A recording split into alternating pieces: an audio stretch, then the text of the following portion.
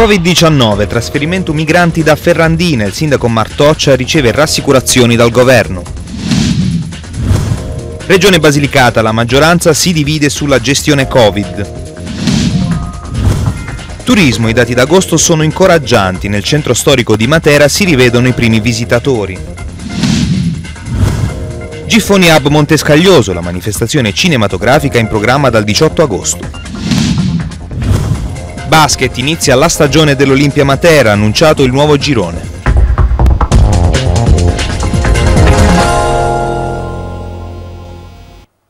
Bentrovati con l'informazione di TRM, ora una, ora una breve pausa pubblicitaria, poi torneremo con le principali notizie di oggi. Bentrovati, apriamo con il caso Ferrandina. Il sindaco della cittadina materana Martoccia ha ricevuto dal ministro dell'interno Lamorgese rassicurazioni sul trasferimento dei migranti. Sentiamo. Terminata la quarantena, i migranti saranno tutti trasferiti e il Ministero si farà carico di gestire la situazione per garantire la salute pubblica degli ospiti, degli operatori e di tutta la comunità ferrandinese. Ad annunciarlo il sindaco di Ferrandina Gennaro Martoccia che ieri sera ha ricevuto una rassicurazione ufficiale in tal senso dal Ministero degli Interni che fa capo alla Lucana Luciana Lamorgese.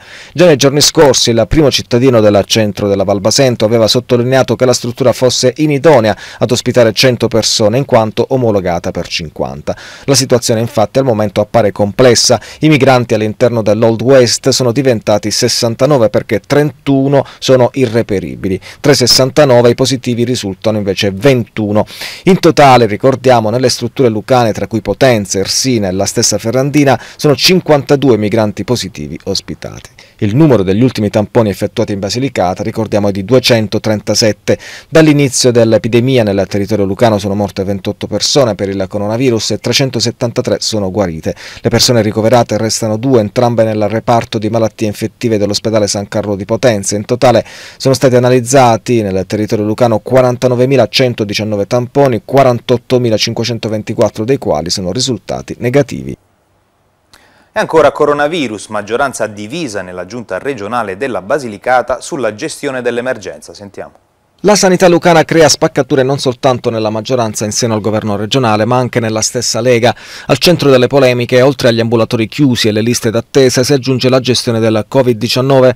A sollevare la questione è il presidente della quarta commissione consigliare Massimo Zullino del Carroccio, il quale, dopo aver chiesto spiegazioni sulla nomina del nuovo direttore generale del CROB, ha posto la sua attenzione sulle spese effettuate durante la gestione emergenziale sanitaria dal direttore generale del Dipartimento Ernesto Esposito.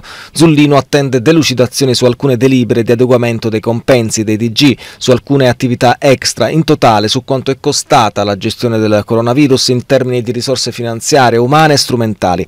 È necessario, aggiunge Zullino, che il direttore Esposito si presenti in commissione dato che non lo fa da oltre due mesi. Inoltre, sottolinea, Esposito ha bloccato le attività e la programmazione motivando questo blocco con la necessità di realizzare il piano sanitario.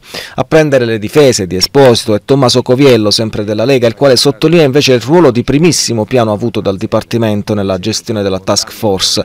Sulla stessa lunghezza d'onda un altro leghista, l'assessore all'agricoltura Francesco Fanelli. Giulino poi chiama in causa anche l'assessore alla sanità chiedendo di fare il tramite con Esposto, pronta la risposta di Leone che rimarca la trasparenza dell'operato della DG. I conti, dice, sono un libro aperto, può vedere tutte le carte che vuole. Poco più tardi è arrivata la difesa di Esposto anche da parte del governatore Bardi. E ora parliamo del nuovo decreto agosto. Con il decreto Matera rientra tra le 29 città d'arte italiane beneficiarie di contributi per gli esercizi commerciali dei centri storici.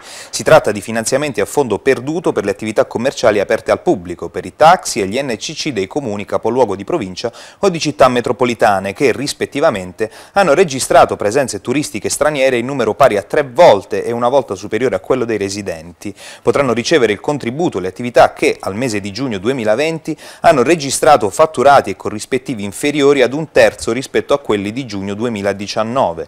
L'indennizzo coprirà una parte di questa differenza con uno sforzo maggiore per i più piccoli, il 20% della differenza per chi l'anno scorso aveva ricavi fino a 400.000 euro, il 15% per ricavi tra 400.000 e un milione di euro, il 10% per ricavi superiori al milione di euro. E ancora decreto agosto. Alcune misure agosto, del DL agosto sono sicuramente positive ed accolgono, sia pure in parte, le esigenze delle piccole e medie imprese. Su tutte la decontribuzione di vantaggio per il mezzogiorno, il ricorso agli sgravi contributivi per sospingere l'occupazione, ricomprendendo per la prima volta in questa tipologia di agevolazione anche le assunzioni a tempo determinato, sia pure limitatamente al settore del turismo.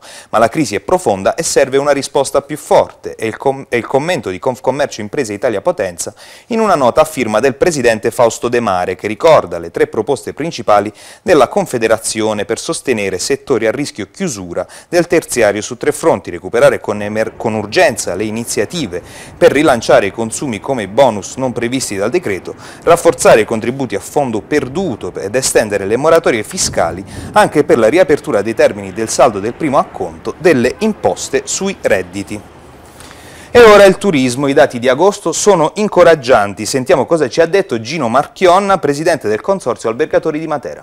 Oggi quello che possiamo dire è un risultato, eh, è un, diciamo, dei dati, sono dei dati un po' eh, presi eh, a naso, ecco. Eh, quindi sicuramente eh, dopo sette mesi eh, di presenze e arrivi veramente eh, allo, allo, zero, che arrivavano quasi allo zero, agosto si può dire che c'è una, una bella ripresa eh, per il mese di agosto, per il solo mese di agosto. Eh, questo è dovuto a, alla posizione di Matera, che è circondata da tantissime coste, quindi parliamo dalla Calabria, coste della Basilicata, coste della Puglia, e quindi eh, tanti turisti che eh, visitano queste coste eh, all'andato oppure al ritorno, quindi parliamo di turisti che vengono prevalentemente dal nord o eh, turisti stranieri, quindi di nazioni limitrofe all'Italia, poi scelgono Matera per una sosta di una o due notti. per cui sì, ci sono, ehm, ci sono segni di ripresa per il solo mese di agosto. Settembre-ottobre invece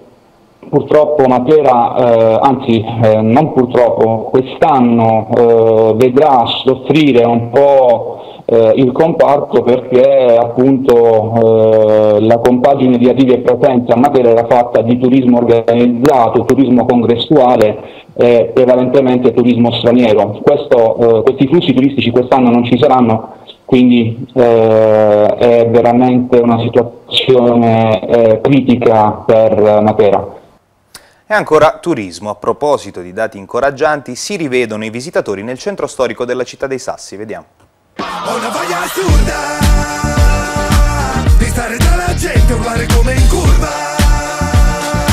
La ripresa della stagione turistica post-lockdown c'è e si vede, i numeri sono ovviamente inferiori alle previsioni e ben lontani da quelli del 2019, ma per le strade del centro storico di Matera i visitatori ci sono e nonostante in pochi abbiano usufruito del bonus vacanze, il tasso di soddisfazione è molto alto. Come mai avete scelto Matera? Ha influito anche la questione che la Basilicata è una regione covid free?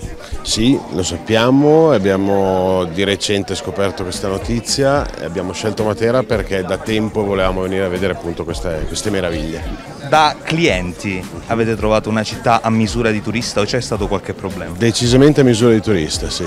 Siamo in camper, abbiamo dormito direttamente all'interno del parco c'è un'area camper attrezzata, periodo Covid non, non c'è la possibilità dei bagni aperti, però sì, sì, siete stati bene. Staremo qua un po' di giorni e un po' di giorni andremo anche in Puglia, faremo tutto il giro qui intorno. Oh, sicuramente è una città che, che, che, che attrae, era interessante vederla, ecco, insomma, ci si sta rendendo conto e da ieri che ci siamo è molto bella e eh, insomma faremo un tour in tutto, il sud, in tutto il sud, quindi la prima tappa è stata questa proprio per partire diciamo, col botto. Anche l'empatia diciamo, è, è, subito presente, diciamo, è, molto, eh, è, molto, piacevole perché comunque quando tu, vai, tu viaggi e tu trovi subito dall'altra parte eh, come dovrebbe essere da tutte le parti, ma purtroppo non è così da tutte le parti, insomma è piacevole. Avevamo necessità di fare vacanza, non volevamo andare all'estero, veniamo da Roma, io avevo la curiosità da qualche anno di vedere Matera e quindi ho detto è l'occasione giusta per andare quest'anno. Funziona tutto alla meraviglia, mm, abbiamo visitato la città, i musei, le chiese, Abbiamo fruito anche di visite guidate e direi che funziona tutto molto bene. Avete per caso usufruito del bonus vacanze? Non ancora, il mese prossimo. Pensiamo di andare in vacanza anche a settembre. Alla faccia di chi sta a casa. E il potentino Giacomo La Sorella è stato nominato nuovo presidente di Agicom. Lucano, fratello della nota giornalista Carmen, il nuovo presidente dell'autorità garante per le telecomunicazioni, è stato scelto dal Premier Conte e dal ministro per lo sviluppo economico Stefano Patuanelli per prendere il posto dell'uscente Angelo Cardani. Venerdì scorso il Consiglio dei Ministri aveva approvato l'avvio della procedura per la nomina di La Sorella, che laureato in giurisprudenza all'Università La Sapienza di Roma, era già stato consigliere parlamentare nel 1989 per poi ricoprire per 12 anni il ruolo di capo del servizio Assemblea. Secondo Dagospia, dietro la nomina di la sorella, ci sarebbe la mano del ministro degli affari esteri Luigi Di Maio, che avrebbe così, piazzando sulla poltrona presidenziale uno dei suoi mentori, dato un colpo al Partito Democratico. E ora la cultura, presentato a Montescaglioso il Giffoni Hub. Torna nella cittadina del Materano il grande cinema per ragazzi, vediamo. Si chiama Giffoni Hub Montescaglioso ed è l'evento festival che chiude la diciassettesima edizione della rassegna cinematografica montese per ragazzi Vivere il cinema tra sogno e realtà. Alla conferenza stampa di presentazione dell'evento presenti il direttore artistico del cinema Andrisani Giuseppe Di Sabato, Salvatore Adduce, presidente della Fondazione Matera Basilicata 2019 e il presidente della provincia di Matera Pietro Marrese. Come per le scorse edizioni, anche quest'anno i ragazzi più meritevoli parteciperanno come giurati al Giffoni Film Festival, la più importante manifestazione cinematografica per ragazzi che quest'anno festeggia la sua cinquantesima edizione. Un'edizione particolare però perché a causa delle difficoltà legate all'emergenza sanitaria quest'anno sarà realizzata interamente in streaming via web tramite la creazione di numerosi hub in giro per l'Italia e per il mondo.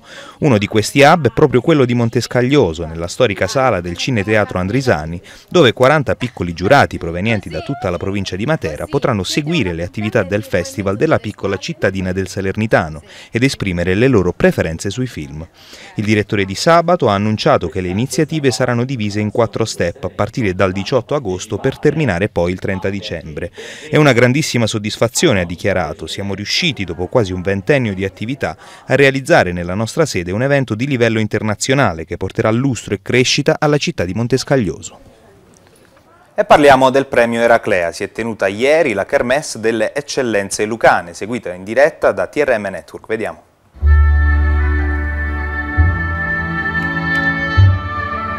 Non edizione del premio Eraclea ridimensionata dalla Covid nelle presenze ma non certo nello spessore della serata, per la qualità delle esibizioni e per il valore dei premiati, coloro che rappresentano la Basilicata attraverso le proprie professioni. Massimo Brancati tra i premiati del premio Eraclea nona edizione, un commento su questo riconoscimento?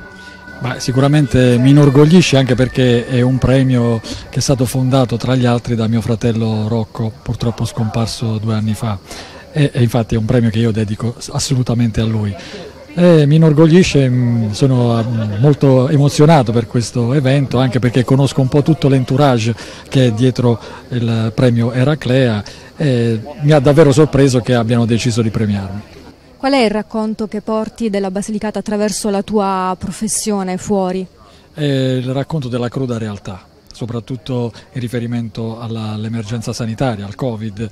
Eh, mi sono occupato in questo periodo proprio di, eh, fondamentalmente proprio di questo tema, come tutti i colleghi della Gazzetta del Mezzogiorno, che nonostante i problemi che ci riguardano come giornale, abbiamo cercato sempre di non far mancare la nostra informazione. Giuseppe Calabrese, conduttore di Linea Verde, nona edizione del premio Eraclea, tra i premiati ci sei anche tu.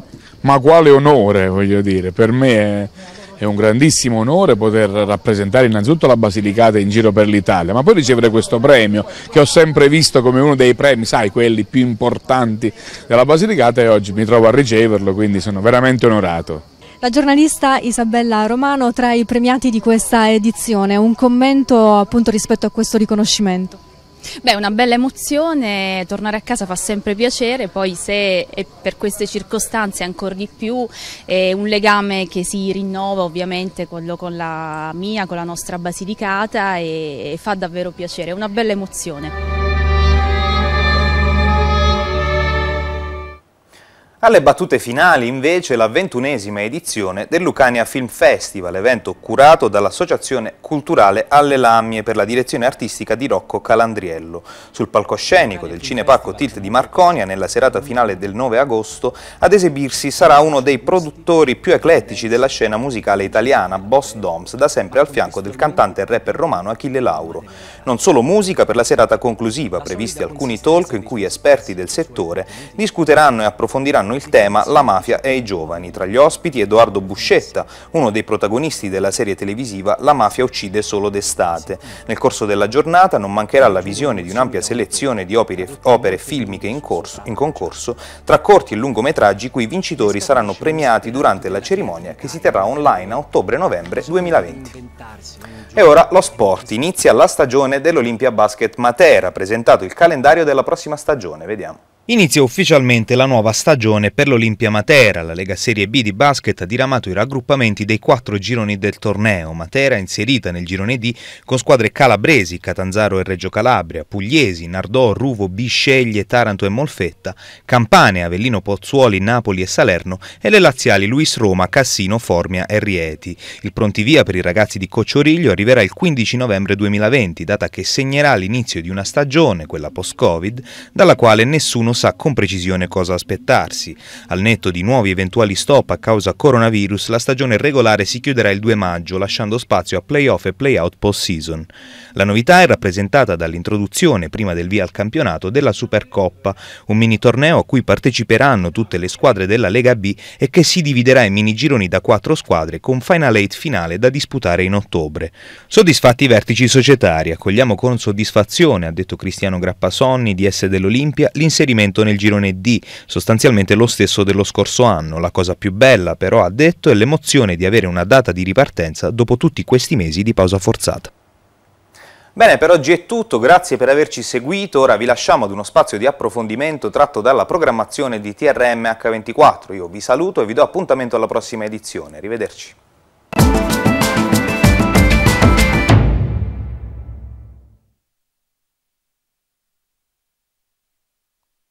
Ancora qui in diretta e come promesso ci colleghiamo in uh, diretta telefonica con uh, due fratelli, Andrea ed Angelo Lisco, che uh, sono fermamente intenzionati a portare avanti un viaggio di 1200 km dalle Guglie di Milano alle Puglie, anche sfruttando questa assonanza, un percorso di 1200 km che loro hanno voluto chiamare via con il Covid, via col Covid, anche con una assonanza al più famoso Via col Vento e noi ce li abbiamo in collegamento e subito li salutiamo Andrea ed Angelo Lisco, ben trovati. Ciao, buongiorno, buongiorno, buongiorno a tutti. Ecco, avremmo voluto anche vedervi con il collegamento Skype, però purtroppo oggi eh, probabilmente le linee sono troppo, diciamo così, intasate e non riusciamo eh, a poter far questo, ma eh, comunque scorrono delle immagini che raccontano un po' della, del vostro eh, viaggio. Voi avete in mente un progetto, un obiettivo, quello di eh, annodare due punti estremi dell'Italia proprio perché volete in qualche modo con, con la bellezza eh, riprendere eh, il passo dopo il periodo della, del Covid-19, dopo il periodo eh, del, del lockdown, è così? Esatto, sì, per chi non ha avuto... Io sono fratello Andrea innanzitutto, il, il più grande. Ciao Andrea, diciamo. ciao Andrea. Ciao a tutti quanti e a tutti gli ascoltatori. E, allora, per chi non ha avuto la sfortuna ovviamente di ammalarsi o di avere un parente o un amico colpito dal virus, eh, il problema principale è stato ovviamente, sono stati due tendenzialmente, l'orizzonte che è rimasto fermo al davanzale di casa, oltre a quello non si poteva andare, e, e poi ovviamente la lontananza dai propri affetti. E, via col Covid ci è sembrato insomma un, un'idea eh, giusta per ehm, lasciarci alle spalle tutto questo e riconquistare due aspetti fondamentali, socialità e paesaggio. Se poi il paesaggio è l'Italia, ovviamente viene più semplice pensare che domani possa essere davvero un altro giorno eh, un giorno bellissimo perché abbiamo scoperto davvero un'Italia straordinaria, sia dal punto di vista artistico, folcloristico, eh, culturale, sia dal punto di vista umano. Ecco, voi eh, siete, vi siete trasformati in due cicloturisti, ecco, eh, ma nella vita chi siete? Eh, io sono il fratello Angelo, il più piccolo, e io nella vita faccio, in realtà no, non, per rispondere, alla, alla, per chiarire insomma, alla, quello che hai detto, io non mi sono trasformato in cicloturista, nel senso che lo facevo già da, da anni. Ah, bene. Io faccio, io faccio l'informatico ed è chiaramente un mestiere che mi costringe a stare molte ore al giorno, come potete ben immaginare, seduto a una scrivania davanti a un computer. Quindi un po' di anni fa, diciamo circa dieci anni fa, eh, un po' per puro caso, un po' proprio per questo uh, bisogno fisico di, di, fare, dire, di mettere in moto il corpo, ho iniziato praticamente a viaggiare in bicicletta. Eh, inizialmente ho fatto dei, dei viaggi diciamo, eh, di, di, di, breve percorrenza, diciamo sui 300-400 km, poi ho iniziato diciamo, a aumentare un po' il tiro e l'ambizione, insomma. E quindi diciamo che poi ho, ho, scoperto questo modo di viaggiare e da, appunto da dieci anni a questa parte per me è l'unico modo in cui diciamo, riesco a concepire un viaggio perché appunto ho iniziato a, a capire quanta, quanta, quanta dire, bellezza riesca a percepire in più rispetto a qualunque, altro, a qualunque altra modalità di viaggio. Ecco. Quanti... Comunque, per rispondere alla tua domanda io appunto faccio l'informatico a Milano da ormai 14-15 anni, insomma. Quanti chilometri avete già percorso? Eh, ormai siamo addirittura d'arrivo, abbiamo, abbiamo superato ieri la, la barriera dei 1000, 1100 chilometri, eh, quindi mh, oggi ci mancano praticamente gli ultimi 50, poi vediamo l'arrivo a Bari per l'ora di pranzo dove c'è la mamma che ci aspetta con un pranzo da mesi, preparato da mesi. Eh. Noi l'avevamo avvisata che ci avremmo messo 36 giorni, ma lei in peste ha cominciato a cucinare un mese fa, quindi ci aspetta. Il forno è stato acceso 30 giorni fa. Esatto. Quindi nonostante il vostro accento milanese, la, le vostre origini sono pugliesi, baresi? Assolutamente sì, noi siamo entrambi nati a Bari eh, ci siamo trasferiti negli anni 90 eh, per ragioni appunto legate al lavoro di nostro papà e tra l'altro negli anni proprio della Lega in cui imperversava la Lega quella antimeridionalista e quindi è stato inizialmente molto traumatico questo, questo trasferimento. Infatti abbiamo subito anche episodi dire, di vessazione insomma, dire, nei confronti dei meridionali e quella la cosa che ho ci, colpì, ci colpisce ancora che magari hanno gli stessi meridionali emigrati eh, al nord che facevano, come dire, i bulli, no? in qualche modo volevano lavare per qualche stupida ragione la, le loro origini e, e far pagare chi, agli ultimi arrivati diciamo, le, il, eh, il, questo trasferimento, insomma, questo, il fatto di essere aperti al nord. E voi con questo viaggio state diciamo così, in qualche modo anche uh, unendo l'Italia e facendo vedere la bellezza uh, di tutto il territorio italiano da nord a sud. Ecco, che cosa vorreste che lasciasse questo vostro progetto via col Covid, eh, oltre all'effetto rigenerante sui vostri corpi, perché immagino sarete tonici, molto tonici dopo eh, 1200 km percorsi in, in bicicletta, che quale, quale, effetto vorreste lasciasse eh, anche dal punto di vista probabilmente turistico e di promozione del territorio? Dunque, il post-Covid eh, ha sicuramente aggiunto, se possibile, un valore simbolico alla scelta di questo mezzo, ma eh, il tandem eh, ci ha ricordato, ci ricorda e ci insegna eh, che eh, nella vita eh, si è tutti collegati, cioè siamo proprio fisicamente collegati, no? in questo caso legati meccanicamente, per usare una metafora, ma comunque ecco, mh, abbiamo capito che eh, per raggiungere grandi obiettivi eh, e anche affrontare grandi problemi, essere insieme è fondamentale. Quindi vorremmo che rimanesse un po' questo messaggio eh, che l'unione appunto aiuta a superare anche le difficoltà peggiori. Ecco, avete una storia da raccontare in chiusura di questa intervista che avete incontrato in questo lungo viaggio? Che cosa vi è rimasto fino ad ora, eh, cosa vi ha colpito fino ad ora di questo lungo viaggio? Ne avremo moltissime, in realtà sul nostro profilo Instagram stiamo provando a raccontarle tutte, anche con dei video, ehm, sono legate alle persone soprattutto ed è stata l'emozione più grande. Ehm, il, la bicicletta viene già percepita tendenzialmente come un mezzo poco eh, minaccioso e quindi le persone si avvicinano, ti salutano, chiedono. Il tandem poi ha aggiunto ovviamente curiosità. Noi abbiamo un, un mezzo di 3 metri, quindi questo desta molto stupore nei bambini, anche negli adulti, e, ed è diventato un tramite di contatto con gli altri. E da lì sono nate delle amicizie. Eh, anche ieri ci siamo trovati improvvisamente a pochi chilometri dall'arrivo con un grosso problema, eh, praticamente è scoppiato il copertone eh, del tandem e dei ragazzi ci hanno soccorso e ci hanno appunto eh, portati verso la ciclofficina più vicina, da lì è nata un'amicizia, siamo andati eh, a cena insieme e come sentirete dalle nostre voci abbiamo fatto molto tardi, tipo siamo tornati alle 3 di notte in camera. E infatti, insomma, episodi di, di, solidarietà e di bellezza che si incontrano su percorsi così lunghi eh, e faticosi non mancano. Ricordiamo 36 giorni in totale. A che giorno siete voi in particolare?